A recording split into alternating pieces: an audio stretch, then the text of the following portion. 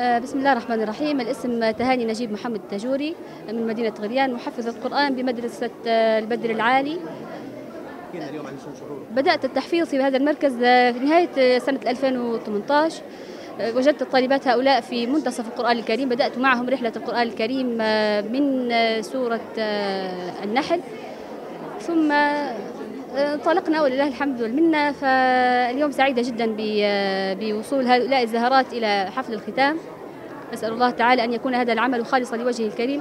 انطلاقا من قوله صلى الله عليه وسلم خيركم من تعلم القرآن وعلمه. أسأل الله أن نكون من الخيرية التي شملها حديث النبي صلى الله عليه وسلم.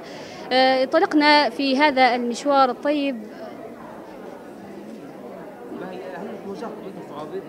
كم يعني كثير؟ آه، بالنسبة للصعوبات يعني آه، الصعوبات تواجه أي محفظ قرآن في ليبيا هي آه، غياب الطلبة بسبب ظروف الدراسة وكذا يعني يوم عطلة يوم آه، الظروف هذه ننصح أولياء الأمور أن هذا هو أفضل طريق في في ظل الظروف الراهنة في البلاد يعني هذا الحافظ الوحيد تقريبا أن الأطفال يكونوا آه، آه، يعني يختاروا طريق القرآن وليس ما فيش حاجة أفضل من القرآن.